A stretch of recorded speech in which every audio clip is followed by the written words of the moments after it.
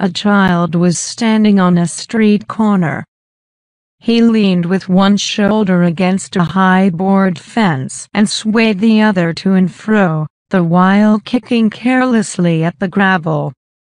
Sunshine beat upon the cobbles, and a lazy summer wind raised yellow dust which trailed in clouds down the avenue. Clattering trucks moved with indistinctness through it. The child stood dreamily gazing. After a time, a little dark brown dog came trotting with an intent air down the sidewalk. A short rope was dragging from his neck. Occasionally he trod upon the end of it and stumbled. He stopped opposite the child, and the two regarded each other. The dog hesitated for a moment, but presently he made some little advances with his tail. The child put out his hand and called him. In an apologetic manner the dog came close, and the two had an interchange of friendly pattings and waggles. The dog became more enthusiastic with each moment of the interview, until with his gleeful caperings he threatened to overturn the child. Whereupon the child lifted his hand and struck the dog a blow upon the head. This thing seemed to overpower and astonish the little dark brown dog, and wounded him to the heart. He sank down in despair at the child's feet. When the blow was repeated, together with an admonition in childish sentences, he turned over upon his back, and held his paws in a peculiar manner. At the same time with his ears and his eyes he offered a small prayer to the child. Presently he struggled to his feet and started after the child. He looked so comical on his back, and holding his paws peculiarly, that the child was greatly amused and gave him little taps repeatedly, to keep him so. But the little dark brown dog took this chastisement in the most serious way, and no doubt considered that he had committed some grave crime. For he wriggled contritely and showed his repentance in every way that was in his power. He pleaded with the child and petitioned him, and offered more prayers. At last the child grew weary of this amusement and turned toward home. The dog was praying at the time. He lay on his back and turned his eyes upon the retreating form. Presently he struggled to his feet and started after the child. The latter wandered in a perfunctory way toward his home, stopping at times to investigate various matters. During one of these pauses he discovered the little dark brown dog who was following him with the air of a footpad. The child beat his pursuer with a small stick he had found. The dog lay down and prayed until the child had finished, and resumed his journey. Then he scrambled erect and took up the pursuit again. On the way to his home the child turned many times and beat the dog, proclaiming with childish gestures that he held him in contempt as an unimportant dog, with no value save for a moment. For being this quality of animal the dog apologized and eloquently expressed regret but he continued stealthily to follow the child. His manner grew so very guilty that he slunk like an assassin. When the child reached his doorstep, the dog was industriously ambling a few yards in the rear. He became so agitated with shame when he again confronted the child that he forgot the dragging rope. He tripped upon it and fell forward.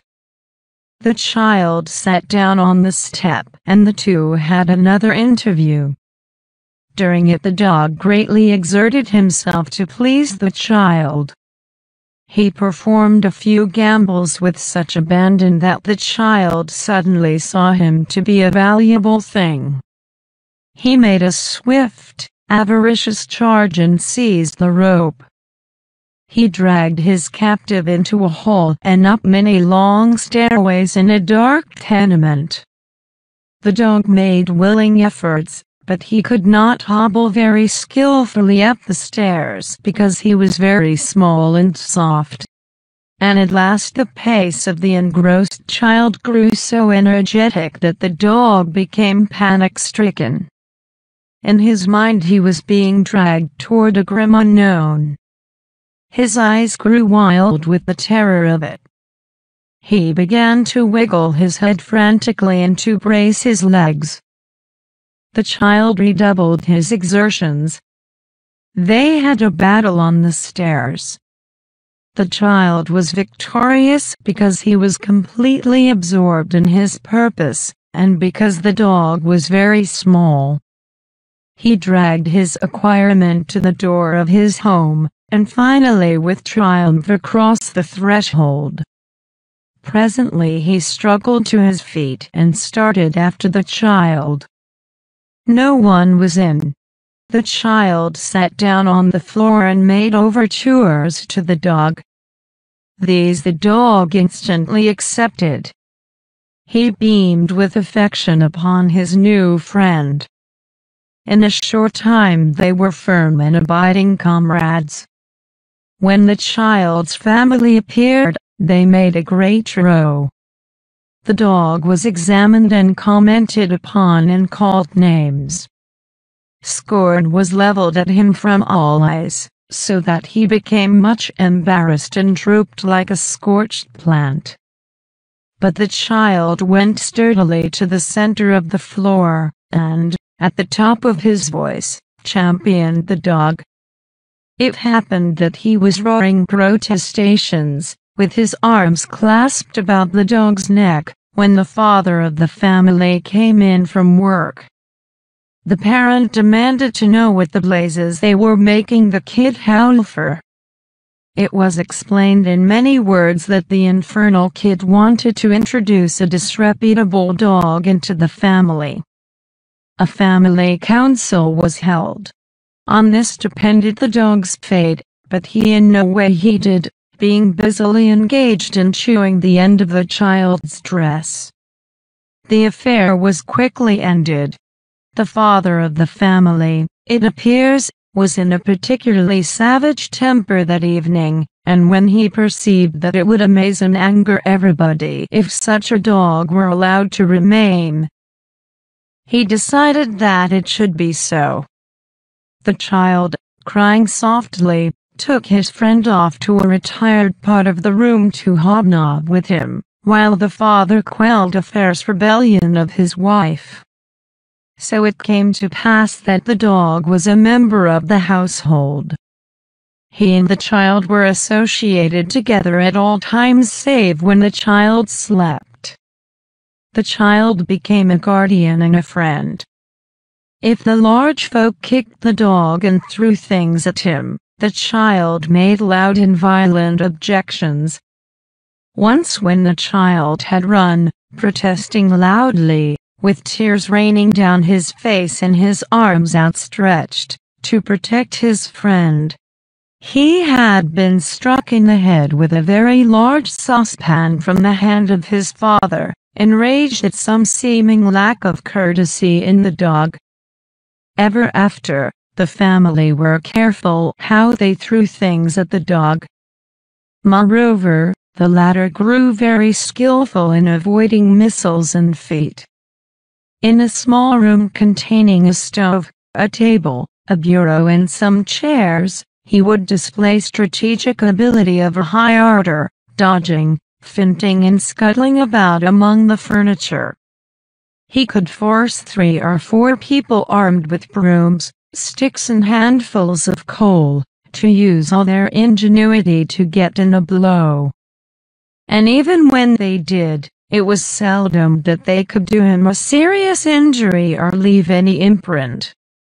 But when the child was present, these scenes did not occur.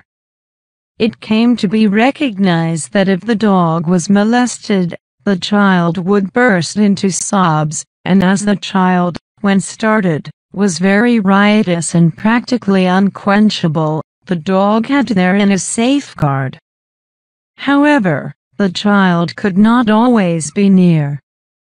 At night, when he was asleep, his dark brown friend would raise from some black corner a wild, wailful cry, a song of infinite loneliness and despair, that would go shuddering and sobbing among the buildings of the block and cause people to swear. At these times the singer would often be chased all over the kitchen and hit with a great variety of articles. Sometimes, too, the child himself used to beat the dog, although it is not known that he ever had what could be truly called a just cause. The dog always accepted these thrashings with an air of admitted guilt. He was too much of a dog to try to look to be a martyr or to plot revenge. He received the blows with deep humility, and furthermore he forgave his friend the moment the child had finished, and was ready to caress the child's hand with his little red tongue. When misfortune came upon the child, and his troubles overwhelmed him, he would often crawl under the table and lay his small distressed head on the dog's back. The dog was ever sympathetic. It is not to be supposed that at such times he took occasion to refer to the unjust beatings his friend, when provoked, had administered to him. He did not achieve any notable degree of intimacy with the other members of the family. He had no confidence in them, and the fear that he would express at their casual approach often exasperated them exceedingly. They used to gain a certain satisfaction in underfeeding him, but finally his friend the child grew to watch the matter with some care, and when he forgot it, the dog was often successful in secret for himself. So the dog prospered. He developed a large bark, which came wondrously from such a small rug of a dog. He ceased to howl persistently at night. Sometimes, indeed, in his sleep, he would utter little yells, as from pain, but that occurred, no doubt, when in his dreams he encountered huge flaming dogs who threatened him direfully.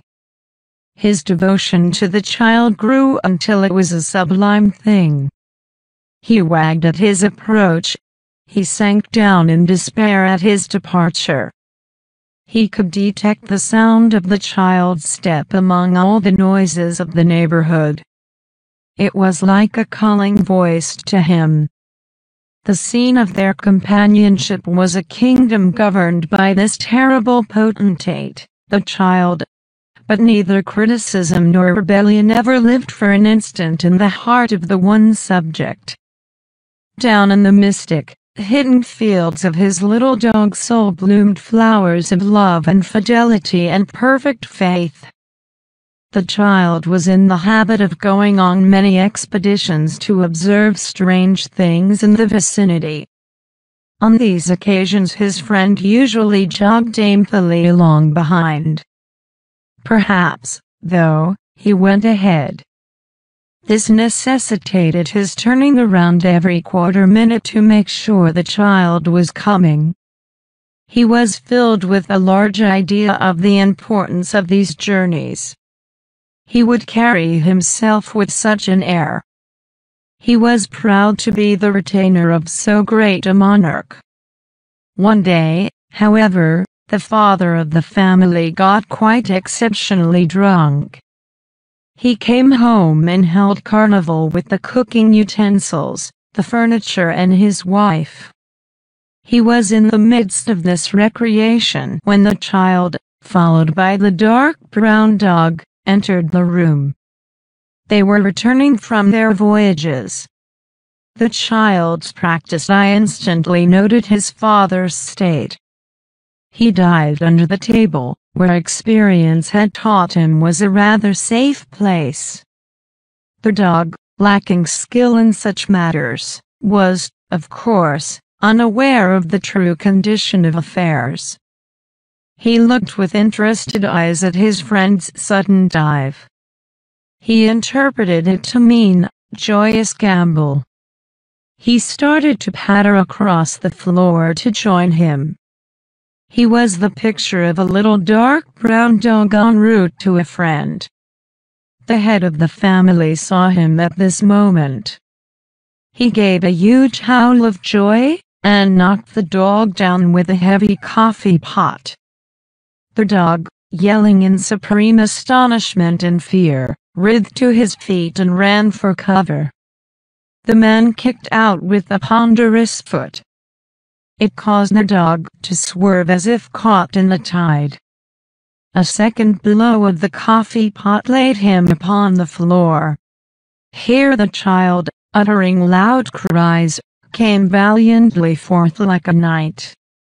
The father of the family paid no attention to these calls of the child, but advanced with glee upon the dog, Upon being knocked down twice in swift succession, the latter apparently gave up all hope of escape. He rolled over on his back and held his paws in a peculiar manner. At the same time with his eyes and his ears he offered up a small prayer. But the father was in a mood for having fun, and it occurred to him that it would be a fine thing to throw the dog out of the window. So he reached down and grabbing the animal by a leg, lifted him, squirming, up. He swung him two or three times hilariously about his head, and then flung him with great accuracy through the window. The soaring dog created a surprise in the block. A woman watering plants in an opposite window gave an involuntary shout and dropped a flower pot. A man in another window leaned perilously out to watch the flight of the dog. A woman, who had been hanging out clothes in a yard, began to caper wildly. Her mouth was filled with clothespins, but her arms gave vent to a sort of exclamation. In appearance she was like a gagged prisoner. Children ran whooping. The dark brown body crashed in a heap on the roof of a shed five stories below. From thence it rolled to the pavement of an alleyway. The child in the room far above burst into a long, dirge-like cry, and toddled hastily out of the room. It took him a long time to reach the alley, because his size compelled him to go downstairs backward, one step at a time and holding with both hands to the step above. When they came for him later, they found him seated by the body of his dark brown friend. Please subscribe to Learn with Cartoon channel if you are not subscribed and share the video. Thank you for watching.